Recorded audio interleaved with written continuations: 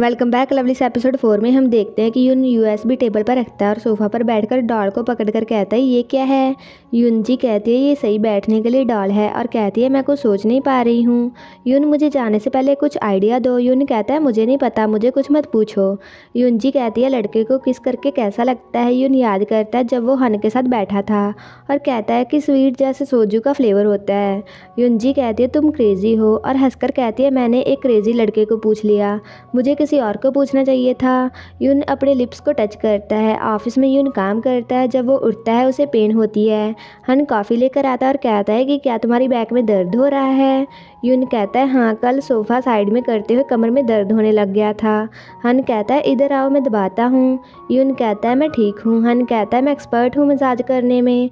Desk में ऐसे खड़े हो जाओ। यून कहता है, मैं सच में ठीक हूँ। हन यून की कमर को दबाता है, तभी हवंग के हाथ से फ़ाइल नीचे गिर जाती है उन्हें देखकर। हन और यून हवंग की ओर देखते हैं। हवंग कहता है, अब तुम लोग खुले में ये सब कुछ करने लग गए। हवंग जल्दी से फ़ाइल उठाकर जाता है, यूनिक आता है, लगता है तुम्हें गलतफहमी हुई है, पर तभी हन यूनिक की कबर को अचानक से दबा देता है। हन कहता है, शायद गलतफहमी नहीं है, क्या काम के बाद मेरे साथ घूमने जाना चाहते हो? मुझे अभी आंसर नहीं मिला है तुम्हारा। यूनिक कहता है, मुझे बहुत काम है आज। हन कहता है, काम के बाद मिलते हैं। हन जाकर अपनी चेयर पर बैठता है। यून अपनी गाल को टच करता है। शाम को यून फ़ोन में देखकर अपने हेयर सही करता है। हन उठकर कहता है, मैं भूल गया। मेरी तो डिनर की अपॉइंटमेंट है डायरेक्टर के साथ आज रात। यून कहता है, ठीक है। हन कहता है, सॉरी, मैं अगली बार तुम्हें कुछ खिलाऊँगा। यून कहता है, मैं ठीक हूँ। यून थोड़ा सा उदास होता है। हन आकर यून के गाल पर किस करके जाने लगता है। डोर के पास जाकर कहता है कि कल मिलते हैं, ये कहकर हन चला जाता है। यून टेबल पर सिर रखता है, उसके कान रेड होते हैं। उसके बाद यून सीढ़ियों से आता है। हन वहाँ साइड में किसी से फ़ोन पर बात करते हुए कहता है कि तुम किसी जवान को कैसे डेट कर सकते हो? यून ये सब कुछ सुनता है। हन कहता है, कल रात नहीं, मुझे कल कुछ काम है। तुम्हें मैं फिर वीकेंड पर मिलता हूँ। क्या मैं? मुझे चीज़ें कैजुअल रखना अच्छा लगता है। यून ये सुनकर गुस्से से सीढ़ियों पर वापस जाता है। हन कहता है, मैं फ़ोन रखता हूँ। मैं किसी बूढ़े के साथ ड्रिंक पीने जा रहा हूँ आज रात। हन फ़ोन काटता है और सीढ़ियों पर जाते समय यून को देखकर कहता है कि ध्यान रखना और यून के फेस को टच करने लगता है। पर यून हन का हाथ साइड में करता है और कहता है कि तुमसे सिगरेट्स की स्मेल आ रही है। हन कहता है सॉरी यून वहाँ से जाता है।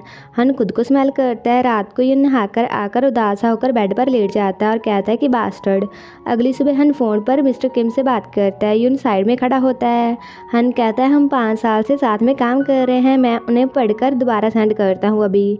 फ़ोन रखकर हन यून को कहता है कि, तुमसे ऐसी मिस्टेक कैसे हो गई जो तुमने पहले कभी नहीं की? उन्होंने समझा, क्योंकि हम बहुत टाइम से उनके साथ काम कर रहे हैं। अगर कोई और कंपनी होती, उन्होंने वैसे ही रिपोर्ट रख लेनी थी जैसे वो थी। हम पहले ही घाटे में चल रहे हैं, तुम खुद की इज़्ज़त के बारे में सोचना चाहिए। ताकि इसके बाद तुम्हें कोई अच्छी जॉब मिल सके। हमेशा अच्छे से काम करो। यून कहता है सॉरी हन कहता है ये सॉल्व हो गया है तो ठीक है। जब बिज़नेस ट्रिप ख़त्म हो जाएगी, इसका भी लास्ट होगा। यून कहता है मैं थोड़ी देर के लिए बाहर जाता हूँ। हन कहता है ठीक है। यून जाता है। हन यून के पीछे जाता है और यून के पास बैठ कर कहता है, सब ठीक है। हमने सब संभाल लिया है। ये दो लोगों का काम नहीं है तो ऐसी मिस्टेक्स तो हो ही सकती हैं। जब हम कल बिज़नेस ट्रिप पर जाएँगे, ये पहली बार होगा हमारा साथ में रात गुजारना। कल तुम मेरे होगे। हन यून को किस करने लगता है, पर यून खड़ा हो जाता है और कहता है कि ये कंपनी है और मुझे कैजुअल रिलेशनशिप अच्छे नहीं लगते।